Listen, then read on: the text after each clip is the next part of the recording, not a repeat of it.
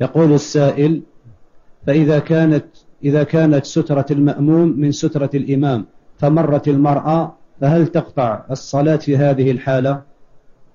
لا.